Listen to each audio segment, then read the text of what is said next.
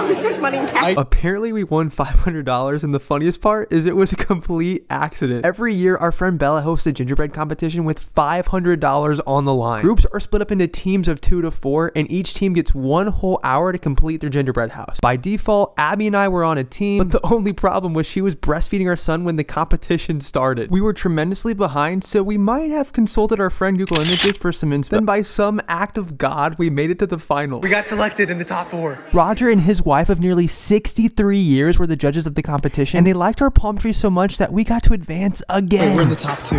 We're in the top two. Now, full transparency, I thought there were so many more gingerbread houses that were better than ours, but it all came down to Roger's decision. I think the ingenuity on these two is incredible. But I tell you, the one thing I think probably put it over the top is the palm trees.